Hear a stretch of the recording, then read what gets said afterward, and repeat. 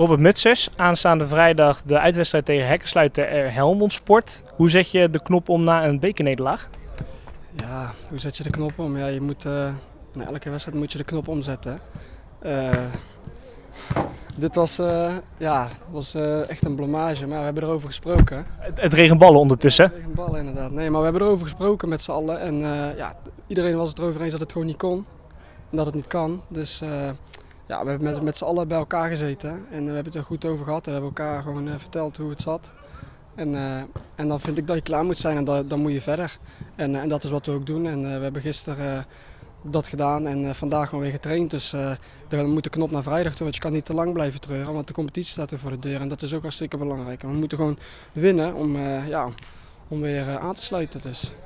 Hoe zeg je dan die knop om na zo'n nederlaag tegen amateurs? Ja, hoe zet je die knop om? Ja, het is, uh, ja, iedereen baalt, iedereen verwerkt het op zijn eigen manier, iedereen is boos. En uh, ja, wat je dan kan doen is kijken wat je fout deed die wedstrijd, met elkaar erover hebben. Uh, ja, duidelijk zijn naar elkaar en ja, zodoende ga je weer verder. En, en ja, na zo'n wedstrijd moet je ervoor zorgen dat je het de eerstvolgende wedstrijd weer recht zet. En, en dat moeten we vrijdag doen. Dus. Eh, Helmond Sport is dan de hekkensluiter van de competitie. Is het dan uh, lekkerder om dan gelijk tegen zo'n tegenstander te spelen, niet tegen een topper? Nou, ik, ik, ik, ik, ik weet het niet. Het is gewoon tegen iedereen lastig. En, uh, en we moeten gewoon ja, niemand onderschatten.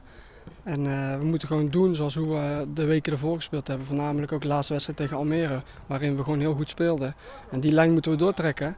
En, en ja, als team gewoon goed staan, met elkaar schuiven, met elkaar praten, veel coachen. En dan, ja, dan moeten we gewoon die lijn doortrekken van vorige week.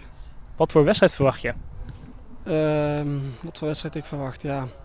Wij willen gewoon uh, weer laten zien uh, ja, dat we gewoon nog steeds die, die lijn door kunnen trekken van vorige week.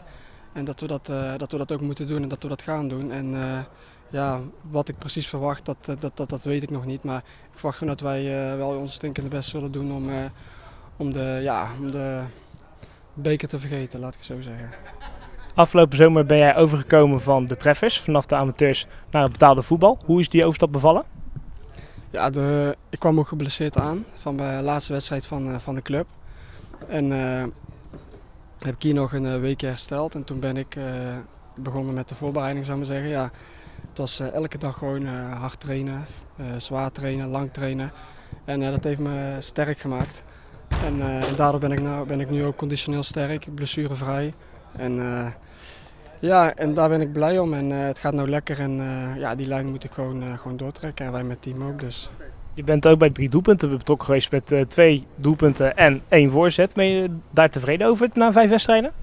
Ehm, ja, uiteindelijk ja, ja, ja, ja, ja, redelijk, redelijk, ja, tevreden. Het had meer moeten zijn vind ik. Het had echt meer moeten zijn. Waarom? Ik heb meerdere kansen gekregen om te scoren of een assist te geven.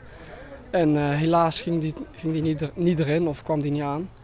En uh, ja, dat moet ik gewoon zorgen dat, dat dat wel gaat gebeuren, maar dat is logisch. En, maar ik denk wel dat het goed gaat komen.